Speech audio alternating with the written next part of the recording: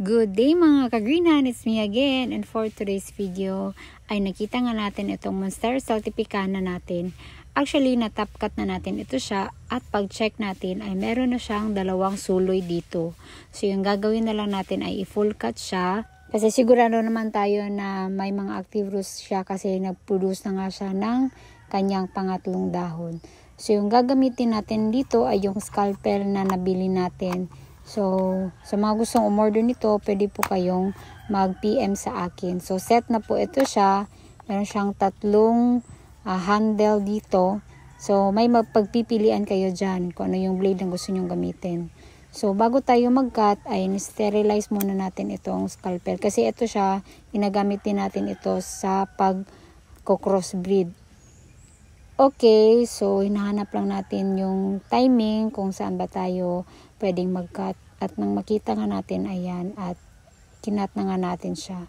Pagkatapos nga pala ninyong makat ito mga kaginan, ay lagyan nyo agad ng Ditane or any brand po ng fungicide.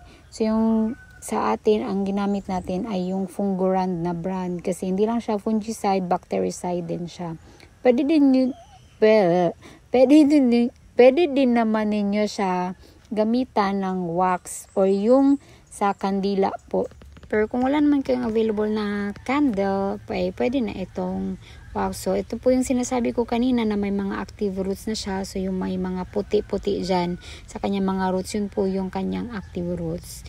So, gagamitan natin ito ng sphagnum moss. So, yung ginamit ko po dyan ay paintbrush para malagyan po ng funguran or yung ating um, fungicide para mag-heal po yung kanyang sugat at para ma-prevent ang stem rot na minsan talaga nangyayari sa mga halaman. Actually, hindi lang root rot, meron din tayong mga stem rot.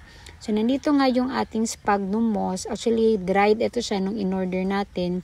Pero nilagyan ng, binasa lang natin siya ng tubig para naman mag-moist yung ating mga moss. So, nilagay lang natin siya dito sa isa katamtamang pot na kasya lang din dun sa ating uh, pinopagate na Monstera saltipicana.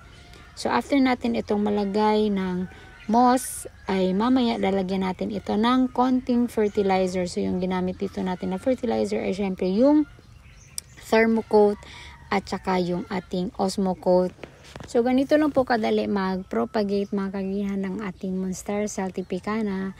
Kung nagustuhan niyo po yung video natin ngayon, ay pa-like and share naman po. This has been Doris, your ka-green hand, saying that a great green earth begins at home.